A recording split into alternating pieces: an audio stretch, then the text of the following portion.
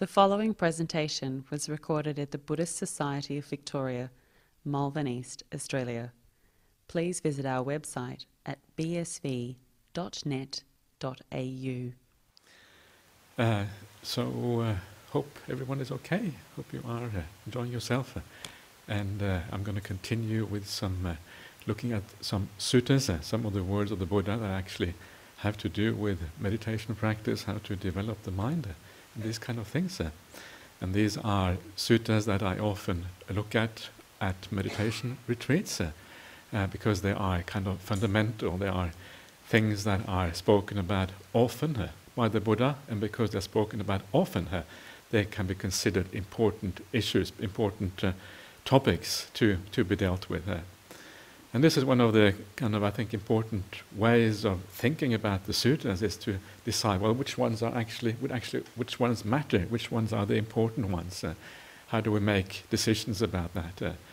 and uh, one way Traditionally, for example, to give an example, uh, traditionally Satipatthana Sutta is said to be very important in Buddhist circles. Uh, but instead of just accepting that as such, uh, it is often useful to ask yourself, well, why exactly is the Satipatthana Sutta important? Is there any reason for that apart from popular opinion? Uh, and uh, when you look at the suttas overall, the Satipatthana Sutta really is only one sutta among many. Uh, and the, the Buddha never really says that it has any particular significance. Uh, so I would say that Satipatthana Sutta is just as important, uh, neither less nor more, uh, as other suttas.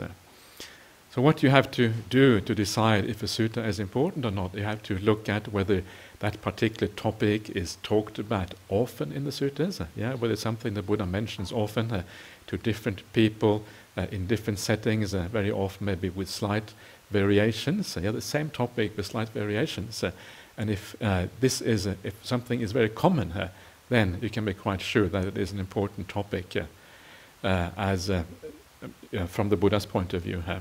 And one of this particular sutta I'm talk, going to talk about now is one of these suttas that you find a lot uh, across the range of you know collections, the Anguttara Nikaya, the Samyutta Nikaya, the various collections. Uh, and this particular sutta is called the Cetana Sutta, uh, and it shows the development of meditation from a first person point of view, uh, what it's supposed to feel like when meditation develops in the right way. Uh.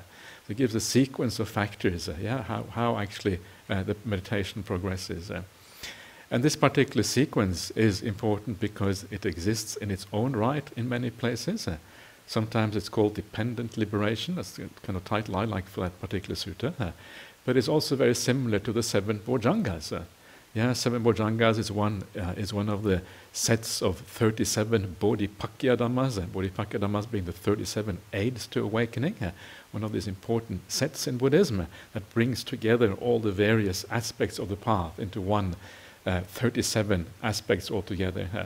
so the Bojjhangas are part of these 37, and these 37, they are said by the Buddha himself to be the, essentially the Dhamma. This is the teachings. Yeah, you go to the Mahaparinibbana Sutta, and uh, the Buddha says, "After I pass away, you should remember this Dhamma and pass it on to the next generation, out of compassion and for the happiness and welfare of gods and humans."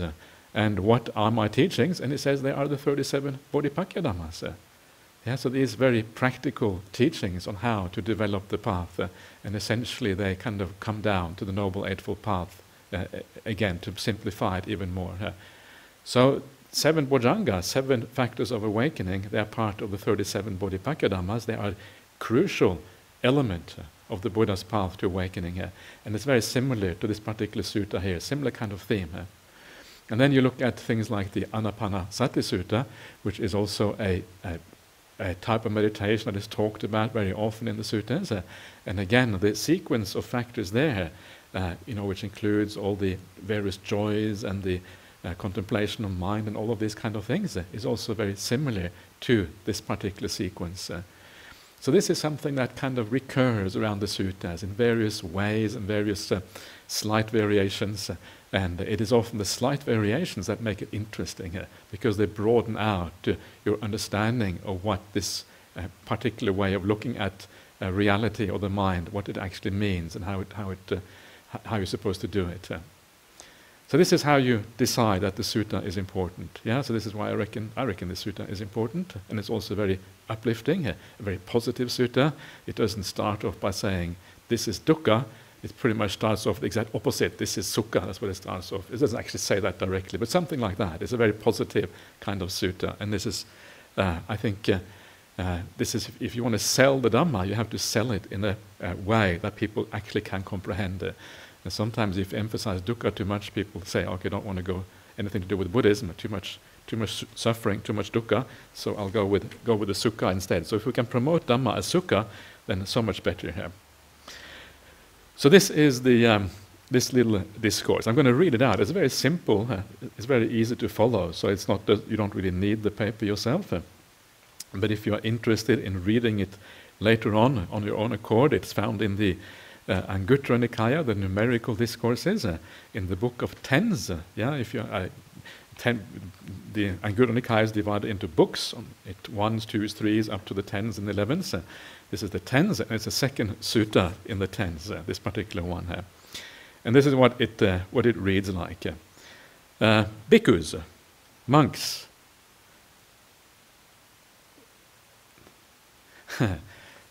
it's interesting, yeah, bhikkhus, does that mean that it's only for bhikkhus? In that case, I have to stop there. That's why I stopped. It to me, wait a minute. There's only one bhikkhu here. I can't just read to myself.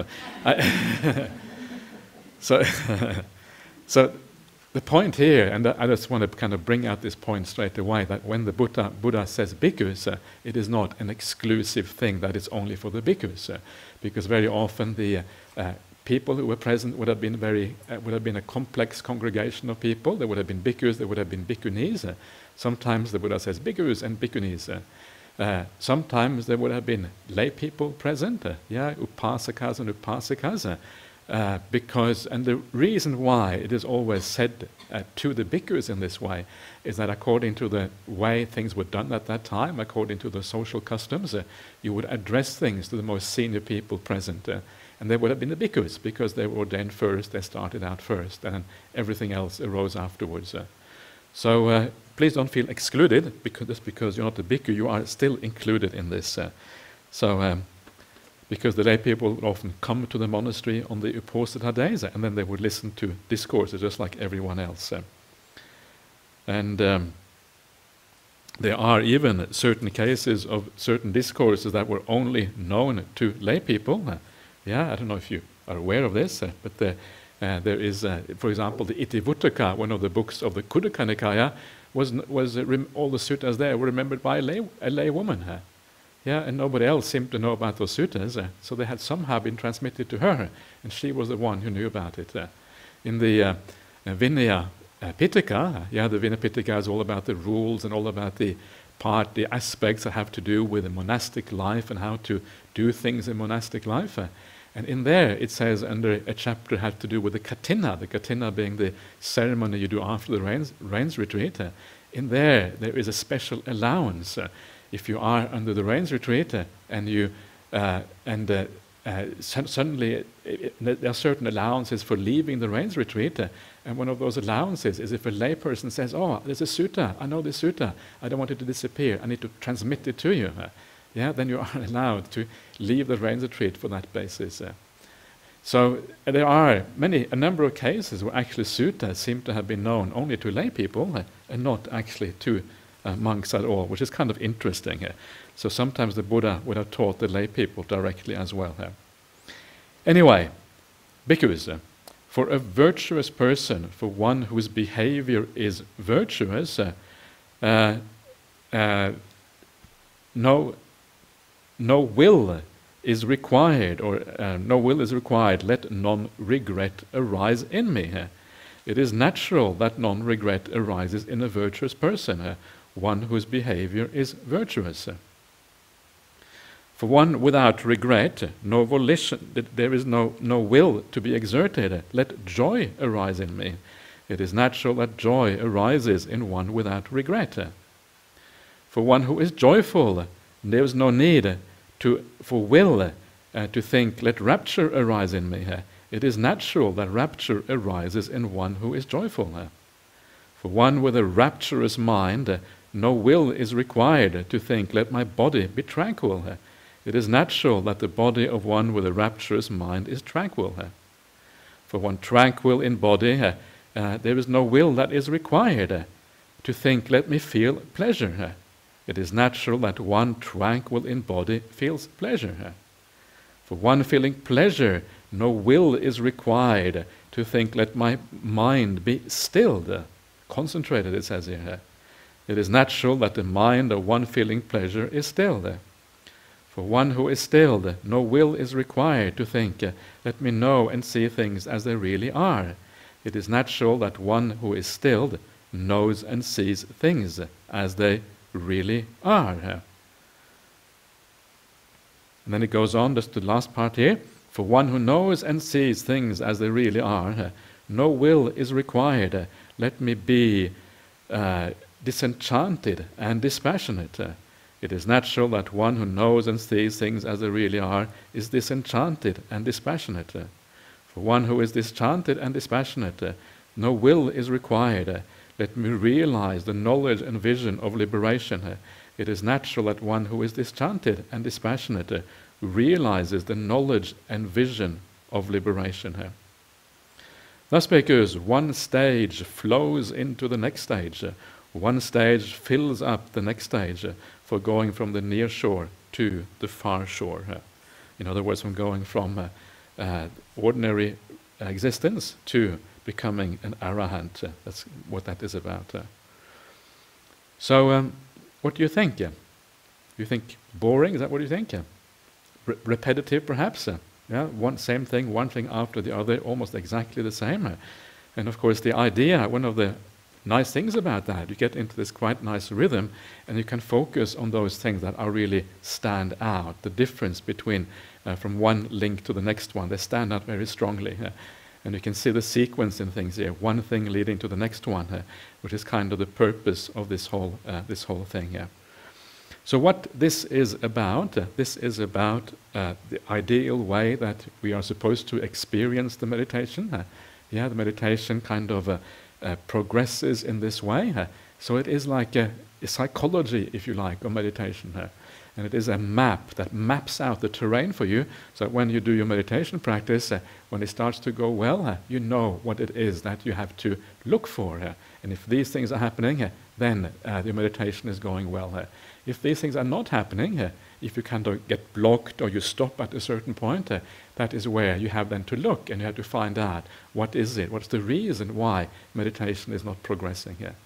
So very important to have a map, right? So we know whether what we're doing is right or not, uh, whether we're heading in the right direction. Uh, so so useful. It's one of the things about the Buddha. He explains these teachings or the idea of the Buddhist path from many different angles. Uh, and one of the angle is how you're supposed to experience it. Uh, another angle is what you're supposed to do. Yeah, how we kind of practice to get uh, get going on this path. In other words, uh, when it talks about the sila and then the sense restraint and then the meditation practice, uh, is how you what you kind of do to make progress on this path. Uh. so always different angles, different perspectives that give you a very complete picture after a while. Here. So remember this map, yeah, and uh, this map is not something that you need to think about in meditation.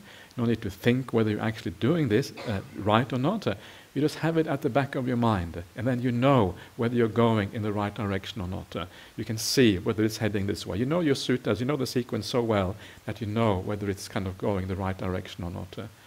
and it's quite a simple sequence. One of the really astonishing things about this sequence, which always I found kind of the most inspiring thing about this is this incredible emphasis on happy states of mind. Yeah, everything is about happiness almost all the way through, uh, starting with like non-regret, uh, and of course non-regret is kind of a happy state of mind, or at least the lack of suffering. Uh, and then from that, it then goes on, one thing after the other, from joy to rapture to tranquility uh, to happiness and eventually to samadhi, and then seeing things in accordance with the reality. Uh, and one thing is a greater state of happiness than the previous one. Uh, it's all about happiness. Uh, that's what meditation is about. Uh. yeah, and this is why the Buddha, when I, I, mentioned this morning about the sutta with the uh, uh, Bodhi Raja Kumara Sutta, uh, where the Buddha speaks to Prince Bodhi, And Prince Bodhi says that you, you gain happiness through suffering. Uh, and the Buddha says, that's what I used to think too. Uh, but I don't think that any longer. Uh, now I know that happiness is to be attained through happiness. Uh. and this is what is going on here. Each stage of happiness leads to a higher stage of happiness. It's just incredibly positive message. yeah, happiness leading to happiness. it's not how we tend to think about the world, it, but this is actually how the Buddhist path works. Of course, it means that you have to be very careful, you have to uh, define happiness in the right way. Uh, this is not just any kind of happiness. Uh, these are the spiritual happinesses, the happiness that are, have to do with tranquility and peace and all of these kind of things. But if you pursue the right kind of happiness, then this path works in this way, and it works accordingly. So what a, what a wonderful thing that is, that you have a path that is all about happiness all the way along. So um, uh, one happiness being greater than the, the next one. Uh, and it's one of Ajahn Brahm's books, which was, was called, uh, um, what was it called? Bliss upon bliss upon bliss? Or was that something like that? Somebody, yeah, anyway. So actually, that's not the name of the book, that's what he says, I think, in the book. I, I can't remember now. Uh, anyway, so, uh, and this is kind of the idea, this kind of evolution of happiness as you practice this path. Uh. and that evolution of happiness, uh, what is kind of fascinating about it here, is this idea that they, they bring up here when it says, and this translation says, no volition need be exerted. Uh, but actually, I never really agreed with that translation. Uh, uh, first of all, the word volition is very technical. It means like will. Uh, no will needs to be exerted. But actually, the Pali doesn't really say quite that. Uh, what it says is, it says na chetanaya karaniya this is not to be done by volition or by an act of will, which is quite different from saying that the will is not needed. It's say this cannot be done through an act of will. This doesn't happen through an act of will. And if it doesn't happen through an act of will, how does it happen? It happens as a natural progression, one leading to the next one, all by itself. And that's why it says further down, it's dhammata, it's according to Dhamma, it's according to the laws of nature that this must happen. Yeah it's kind of really, really nice. All you have to do, in other words, there's no, if there is no will required, uh, it means that all you have to do uh, is you have to sit back uh, and you have to wait for these things to arise. And then if you kind of are able to really wait and really able to relax and allow these things to be, all of these states come by themselves. easy. Yeah. It's supposed to be really easy. If it isn't easy, it is because something hasn't, uh, uh, hasn't kind of, you haven't started out right, you haven't done something right at the beginning. Uh, but the actual meditation itself uh, is supposed to be incredibly easy and relaxed, uh, and just having all of these qualities arise all by themselves. Uh, no will is required. in fact, the will gets in the way. If this is in accordance with nature, if you try to force nature, if you try to take that little plant and pull it up, to, we want to make it grow faster, then you have a problem. Uh, you're, to, you're trying to go counter to nature. Uh, and if you try to go counter to nature, uh, you're going to destroy that fragile uh, state of peace and happiness that you have, uh, and it's not going to work out. Uh. So, will is a problem. Yeah, the willpower doesn't work. so, just let that will be here. So, what does that mean in terms of our meditation practice? and what it means is that you have to learn to be the passive observer. Yeah, we often talk about the passive observer in uh, Buddhism, but here this is exactly what it means. Uh, you have to learn to stand back uh, and just be aware and just enjoy what is going on without being involved at all. Uh. And uh, I learned this beautiful simile. This comes from Ajahn Brahm. So much of what I say comes from Ajahn Brahm. Yeah, I've been thoroughly brainwashed by Ajahn Brahm. Uh, to kind of I just regurgitate things automatically coming back. Yeah. and Ajahn Brahm always had this beautiful simile of being like a passenger on a train. Yeah, when you are a passenger on the train, you have no say in how fast the train goes. You have no say in where the, where the train is going to go. You have no say whether the train should go left or right at the next junction. When you're a passenger, you just sit in the seat and you observe the landscape outside.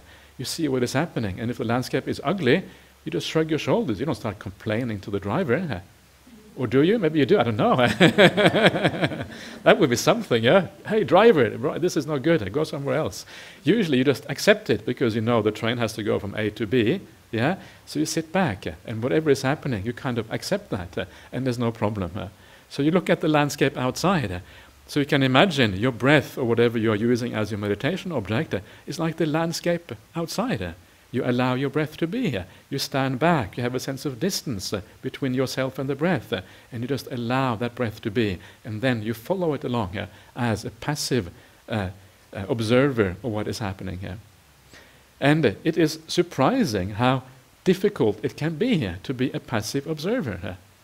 Yeah, it's, it's, it's, so easy to get involved in the breath. As soon as the kind of the, you have the breath there, you very because your mind maybe has a tendency to all minds, most minds, not maybe all, but most minds have a tendency to kind of drift away from the breath, uh, to think about things, to do this and to do that. Uh, so because after a while, and you, we all lack patience to some extent. It's very hard to find people who are 100% patient. Uh, so because of that, there always comes a point when we cling on a little bit to the breath. Uh, we hold on a little bit.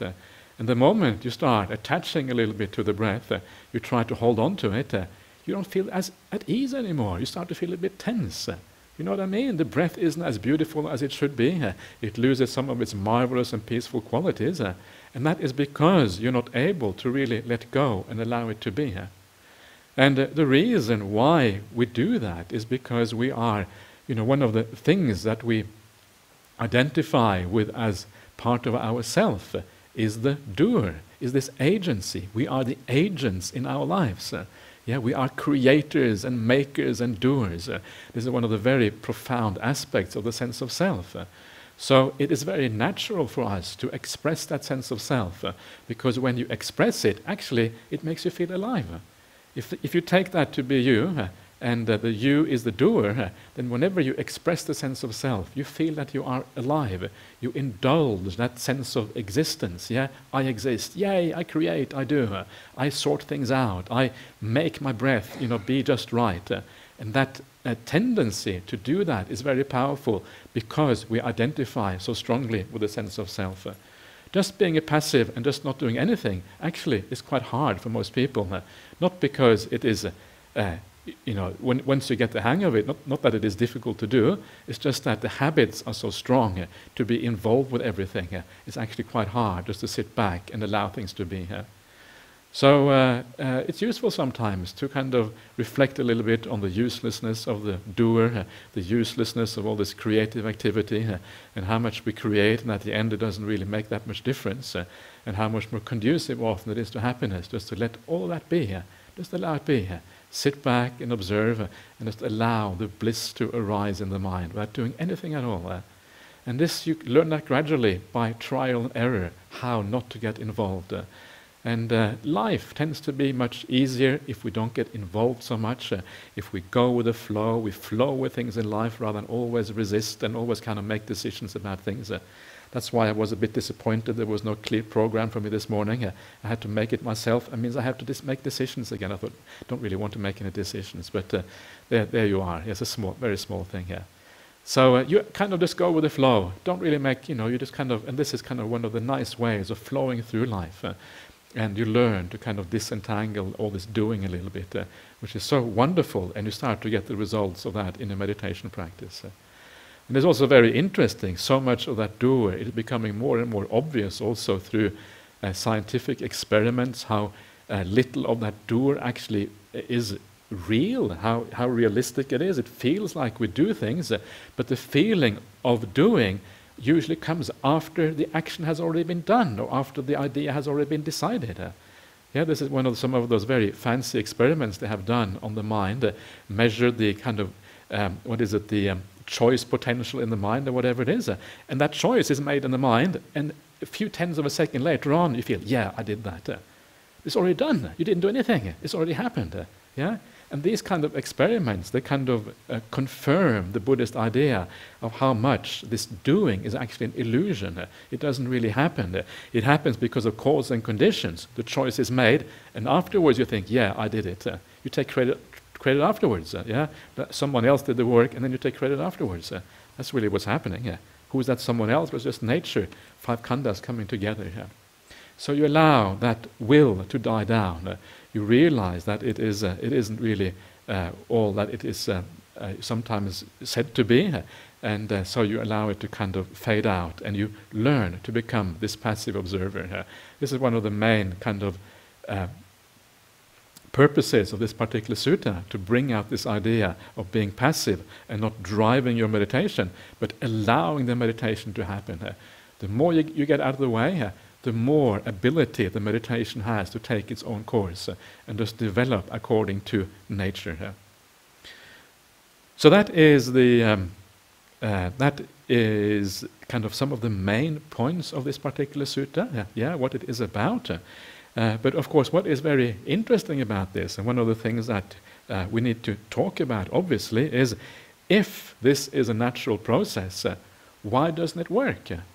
Why is it that most people they sit back and they lean back and they relax and they do whatever? Why is it that they don't just bliss out and go into samadhi? Yeah, why? What, what is actually stopping that? And what is stopping that is because we here have this conditioned sequence, the first and the last factors are by far the most important ones. Yeah? So, what is the first factor in this sequence? It's sila.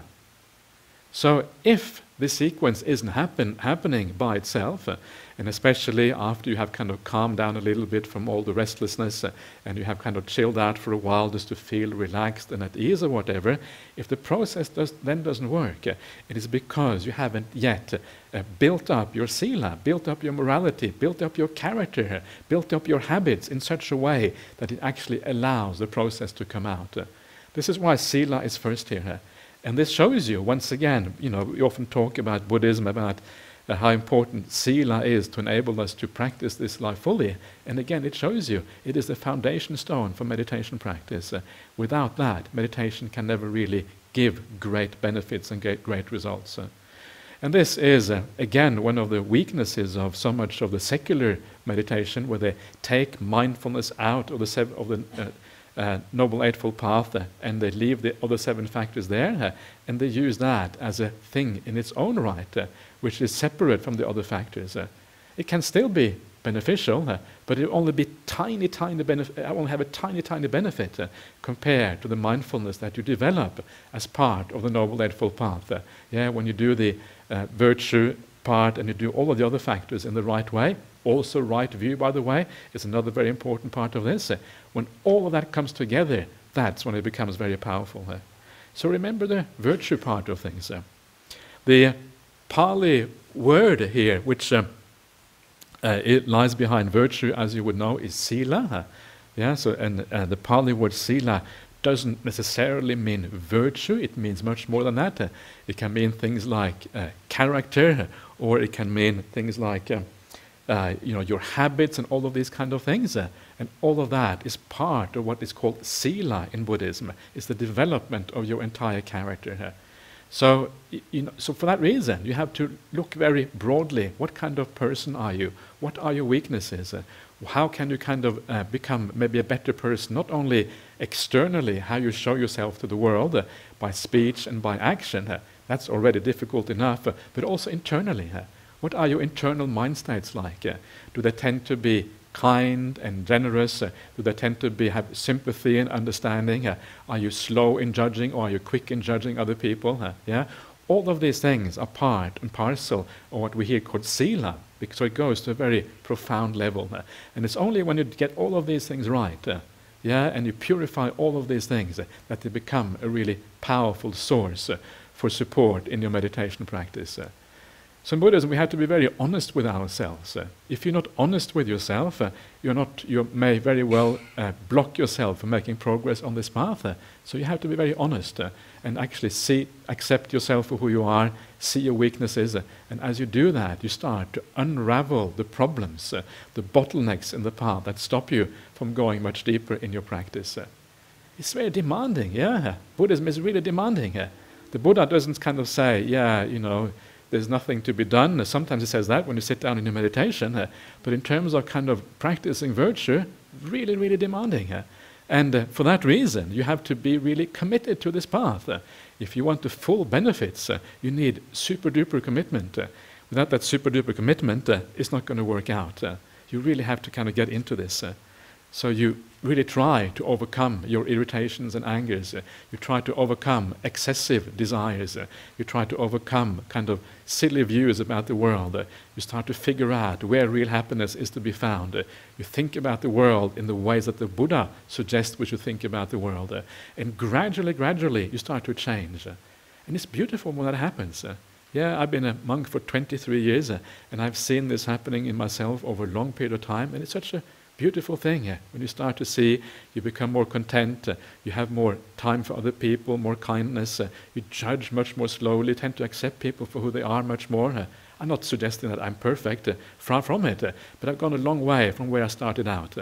I'm very glad you have no idea where I started out because that would be really kind of really scary. But I've, I've gone a long way, yeah. And I'm happy to see that I have progressed. And this gives you such encouragement. Uh, and you see the whole thing kind of in movement. Uh, and in part, that has been because I have said to myself, okay, how can I, how, what can I do to change myself and become a better person? Uh, and this is really what it is about. Uh. so virtue, yeah, the essential component, ingredient at the beginning of the path. Uh.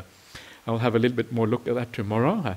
Uh, when we talk a little bit about metta tomorrow, uh, and that is kind of part of that as well, uh, uh how to develop this further. Uh. So uh, that is where the problem is, and that is where the bottleneck is.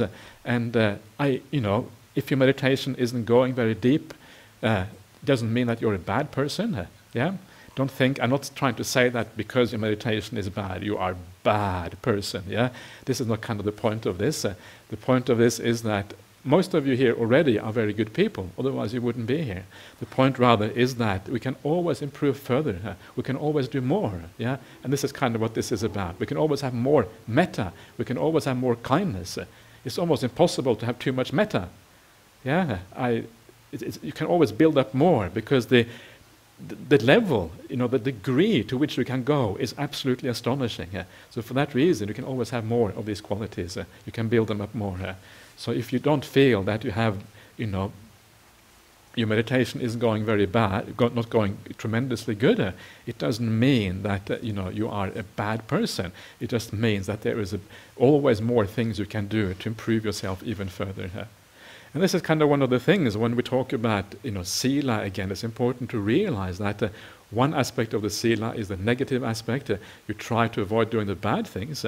But a very important part of sila is actually doing the good things. Uh, yeah, knowing how to treat people in the right way, speak in the right way, think in the right way, perceive even in the right way. Uh, and that is also a very important part of this character development. Uh, and then all of these various aspects come together, and then they become really powerful as a consequence. So that is the beginning point of the path. So the beginning point, obviously, very important when it is an automatic sequence like that. But the end point too is quite interesting. In this case, the end point is uh, uh, knowledge and vision of liberation, uh, uh vimutti nanadassana, and that is kind of far away. Yeah, for most people anyway, it's kind of kind of long way down the track. Um, but uh, on the way to that vimutti nanadassana at the very end, uh, we have samadhi. samadhi is found in there. And after samadhi comes yata bhuta jnanadasana, seeing things according to reality. And again, this is one of those things that uh, I, is, is, so important to point out in Buddhism. This is one of the, again, fundamental teachings of the Buddha that you find again and again in the suttas. Uh, and there you find the cause for seeing things according to reality. And of course, that is what we mean by insight. This is what we mean if you become a stream enterer, for example, a sotapanna, you have to see things according to reality. What is the cause of that? Samadhi. Yeah, right there, you have it again. Samadhi is the cause of these things. So, in other words, samadhi is what enables the mind, gives the mind the power and the purity to see things in the right way and then have that insight. So, what does that mean? Uh, one of the things that we often talk about in Buddhism is samatha and vipassana. And uh, what does this mean in terms of samatha and vipassana? And what it really means is that uh, uh, vipassana is just really clear seeing, seeing things clearly. and samatha is calm. and you build up these two qualities, you build them up together all the way throughout the path. Yeah? And you build them up and build them up. And at some point, as you build them up, you get to samadhi. And at a later point, after you get to samadhi, you get to seeing things according to reality. Yeah, you can see what's going on there. So it's not, it's not that these things are not separate. Uh, they always come together. Uh, in the suttas, the Buddha always talks about samatha vipassana as one thing, one entity, one word called samatha vipassana. Uh, and as you practice this sequence, uh, as you purify yourself, both of these qualities arise together. Uh, and as they arise, you go through all of these stages. Samadhi is one stage of samatha and vipassana. People think that samadhi is all about samatha and not about vipassana, but that's actually not true. Samadhi is called, in the suttas, it's called the Alang Arya Nanadasana Visesa, which means a distinction in knowledge and vision worthy of the noble ones. This is what samadhi is called distinction in knowledge and vision. Yeah? So that too is part of the idea of vipassana and clear seeing. Yeah? So all of these things go together. Yeah? And when you look at it that way, the path is much more unified. Uh, we don't need to divide it up into samatha on the one hand, vipassana on the other. These things always go together, and what we have to do is just reduce the defilements. Uh, when you reduce the defilements, both samatha and vipassana are the consequence of that. Uh, and then you go through this entire sequence, including samadhi towards the very end. And then, when you see things according to reality, Yatabhutinanadasana, then it says uh, you have disenchantment or maybe aversion uh, or whatever you want to call it. Uh, and then dispassion. Dispassion means that your craving ceases. Uh, no more craving because seeing things according to reality means that you see dukkha. When you see dukkha, you are no longer interested. Yeah, because dukkha, you don't, nobody wants dukkha, so you turn away. That's what disenchantment is aversion, turning away in a different direction. You are repelled by what you're seeing. And then from that, you gain liberation as a consequence. Sounds good, yeah? Yeah, and it all happens through an automatic path. All you have to do is to purify yourself uh, to make sure you are a good person. Uh, yeah, so uh, you are. Some of you are wearing white already, which is good. Wearing white is kind of the first degree of purity. Uh, oh, I'm in, tr- I'm in trouble. so, and then we kind of take it from there, gradually, gradually, gradually, and it all happens. Uh. So, let us now look at this uh, process step, stage by stage because uh, that is uh, important as well. Uh, now we have kind of looked at a more like an overview of these things. Uh. Um, so you start off with uh, virtue, yeah, and uh, as I said, virtue is very in, in Buddhism it's very demanding, and then when you are virtuous, then you have non-regret as a consequence. yeah, that makes sense if you live well, you don't regret anything, and you don't think, oh, I shouldn't have done that, oh, such a mistake. Oh, instead, you feel the exact opposite. You feel like a quiet sense of satisfaction inside of you about how you live. it is not an ego thing. it is not that you kind of go around saying, yeah, I'm the best, or anything like that. that would be terrible. That would be very kind of anti Buddhist. It is the opposite. It's just this quiet sense of satisfaction inside of yourself. You know that you're living well. You know that your life is a good one, and for that reason, you feel that your life is worthwhile. You have a sense of natural self esteem, a natural self worth because of that. Yeah, this is really how you get self worth, it's just by being kind, really. And then uh, it's, you know, you don't care so much about what other people say anymore because it's kind of irrelevant. You know that you're living well, other people's opinions are kind of, okay, whatever, uh, and you kind of move on. It's not a big deal. But uh, non regret is also more subtle than that, or regret is more subtle than that. Uh, because sometimes you don't really necessarily feel that, you know, I did something bad, I shouldn't have done it, or whatever. Uh, sometimes it's just as if the lights in your mind are dimmed a little bit. Uh, yeah, There's a little bit of darkness, a little bit of gray kind of moving into your mind. Uh, you kind of feel you, you, don't really feel that joy, some of the uh, you know the the brightness that you may normally have, the energy that might be there, kind of is reduced. Yeah, and this is a sign that maybe you are not as pure in your conduct as you could be. Uh, you don't feel outright regret and thinking uh, you shouldn't have done it. Uh, it's just this feeling that some of the energy is dissipated because you haven't lived up to the highest kind of standard. So this is how to understand this idea of non-regret. Uh, uh, or regret. And non regret is then the exact opposite, uh, is when you feel that you are living well mentally, in all ways, even with how you perceive the people around you. Uh, and then what you're doing is you're building up the energy in the mind. You start to feel bright, yeah? Because this is what happens as a consequence uh, of feeling good about yourself. Uh. So at this point, what happens when you feel non-regret? If you do that fully, uh, uh, this kind of this uh, three things that tend to arise together. Mindfulness arises. Mindfulness arises because when you live well, you're happy in the present moment, uh, you don't have too much ill will and desire to drag you into the past and the future. Uh, mindfulness is a natural outcome. Uh, it comes because of living well. Uh, it comes because of kindness. Uh. but what also comes is the sense of joy, yeah, in the mind, the pamojja, the joy that you know that you're living in a good way, that also arises at this point. Uh, and the last thing that arises is energy. The mind gets energized. Uh, yeah, joy, mindfulness, and energy tend to arise together at this particular point. Uh. So this is how this emerges out of this idea of sila, non-regret, then joy comes from that, uh, pamojja. And at this point, you already have a kind of a high degree of energy in your mind. And this is very closely related to the Anapanasati Sutta. In the Anapanasati Sutta, we talk about establishing mindfulness. It is at this point that mindfulness really gets established. So it's at this point that you start watching the breath. Yeah, the breath comes into focus, uh, and the thing kind of carries on. Uh, a very close correlation between the two.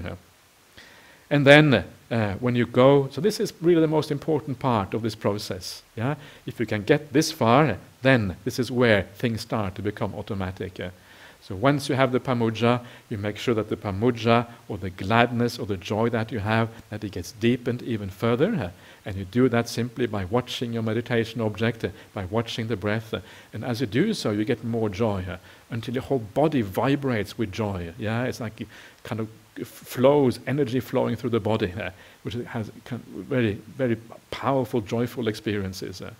And then you carry on watching the breath. All of this is about watching the breath as you do this. Uh, and as you watch the breath, then you will notice when you go to the Anapanasati Sutta, it also talks about this kind of joy as well. Yeah, the piti, uh, the Pali word for this. Uh, and that's also found there. And then uh, uh, the Anapanasati Sutta says that, that then you tranquilize that uh, mental uh, activity, the piti and all of that, uh, you tranquilize it down so it becomes more peaceful. again, this is an automatic process. this is exactly what we're seeing here as well. After the piti comes the passaddhi, which is the tranquility here. So you are kind of, first of all, you are happy, you are glad, uh, then you start bubbling with joy. You kind of, the whole body kind of uh, being on a, being on this trip, and you're going to feel so happy and joyful. Uh, and then you carry on with your meditation practice. Uh, and as you do that, things start to calm down. Uh, yeah? And when they calm down, the body and mind calming down, uh, it is as if you feel this deep sense of stillness and peace inside. Uh, and you feel like this rock, uh, this rock who can sit there forever and ever and ever. There's nothing else in the whole world that you want to do.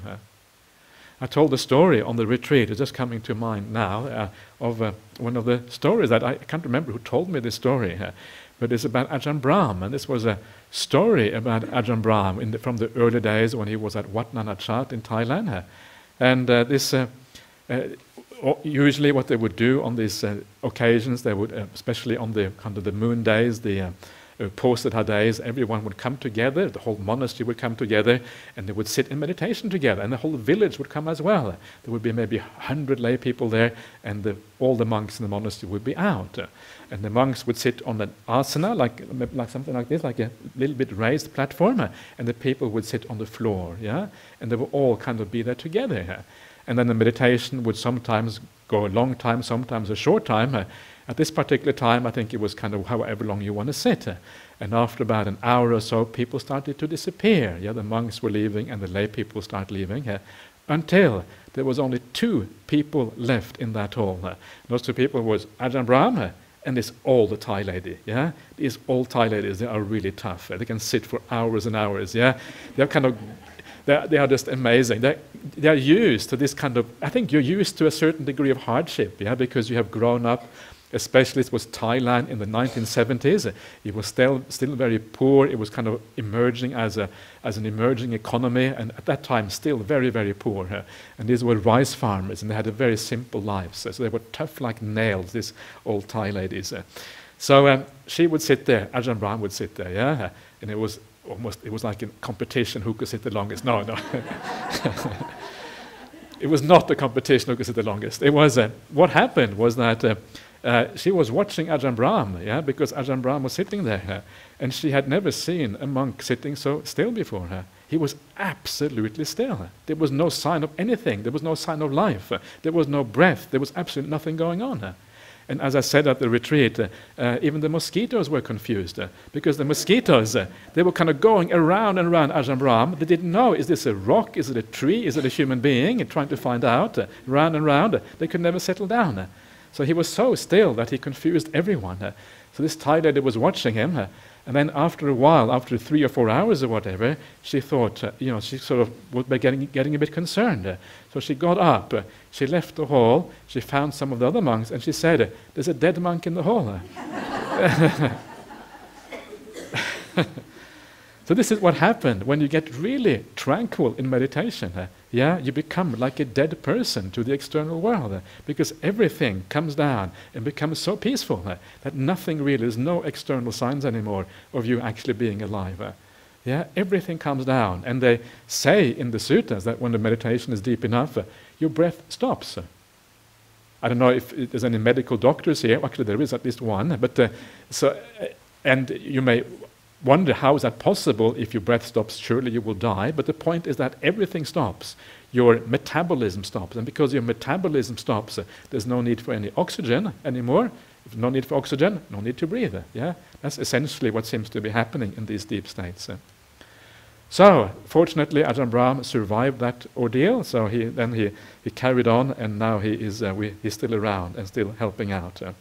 so that is the tranquility. And you can imagine when you feel that degree of peace, that degree of stability in your meditation, it is extraordinarily pleasant. Uh, it is almost as if you are moving towards discovering the meaning of life. Uh, there's nothing to drive you anymore. There's no desire to do anything. And when there's no desire to do anything, uh, when you're so happy, so content, uh, it is basically the definition of the meaning of life. Uh, because there's nothing more to be done. There's nothing more to achieve because you feel that you have achieved everything in the present moment completely, fully content with what is going on there. And that is a very, very profound state of happiness. Uh, yeah, and then that happiness is what draws you in to samadhi, and that is where the most profound samadhi can happen as a consequence. Uh, the jhanas and way beyond uh, happen because of that. Uh. So this is uh, the this path, and uh, this is what this sutta is about, and this is how it how it works. and all you really have to do is to establish that virtue at the very beginning. Uh, and if you do that properly, then this path is going to happen for you too. Uh.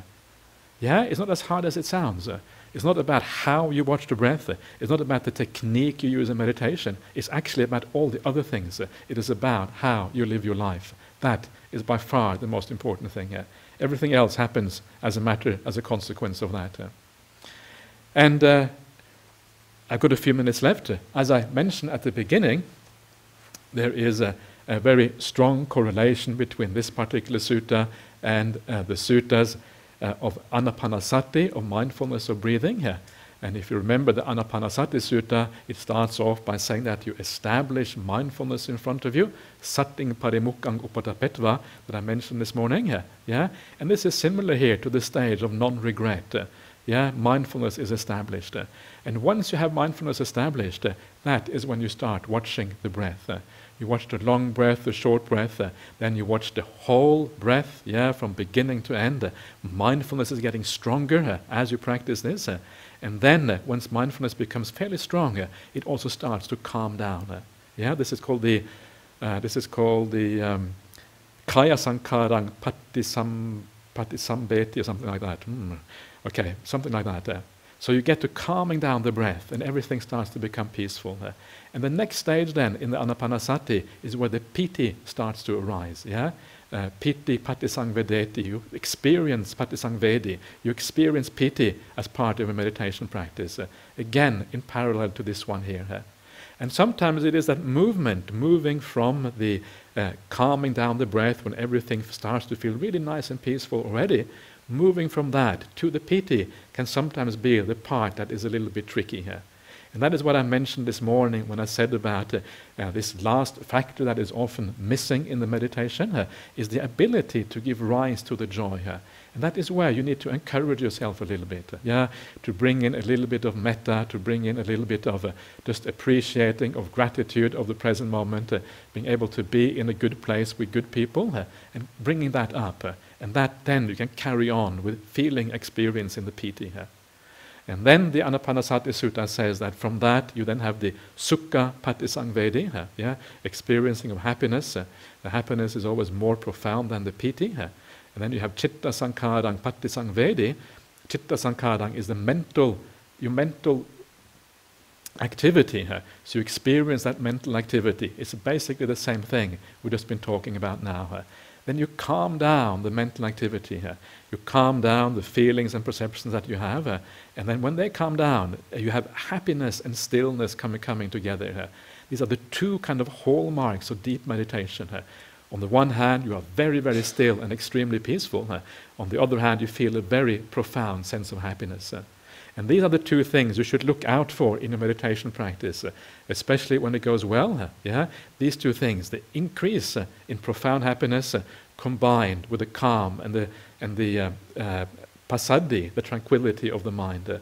those two things coming together. This is what proves, if you like, the power of meditation. Then, when that calms down, then the next one is the chitta, chitta's patisangvedi, I think um, something like that. It's in the mind, yeah.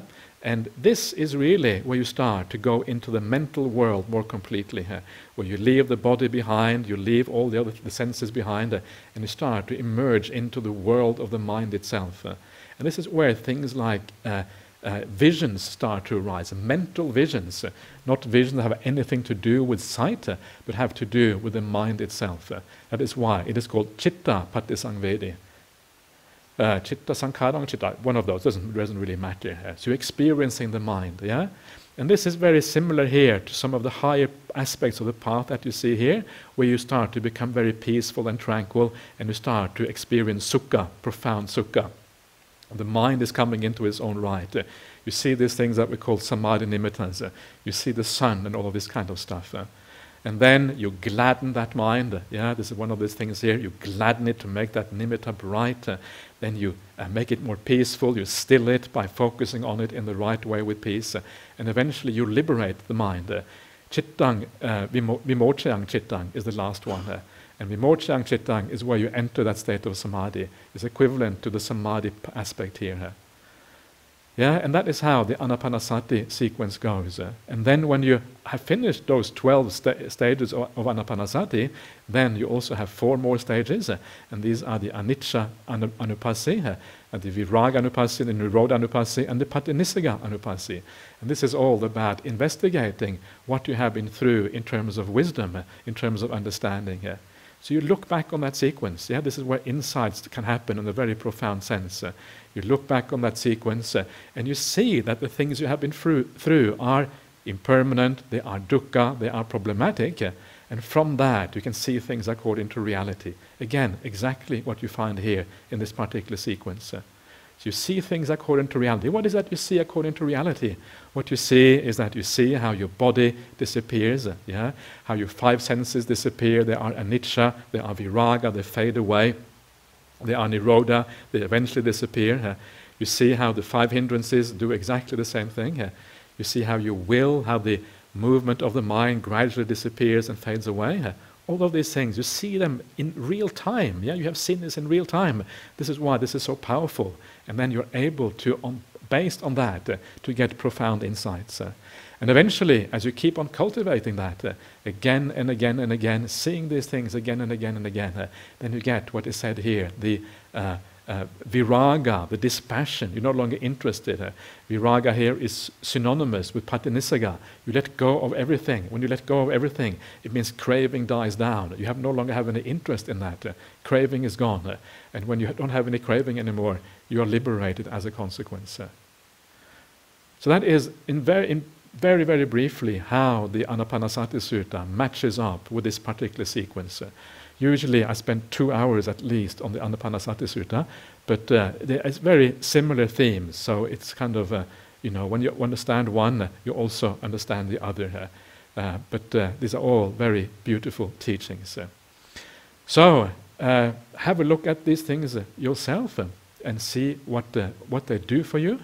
and often, when you read other suttas, you will see how they compare with this particular sutta, how all of these suttas have very similar themes, and how you develop the same kind of qualities, and see how astonishingly inspiring and interesting this Buddhist path is. Uh, it is full of happiness. It is full of all these wonderful and remarkable states uh, that all of us can experience.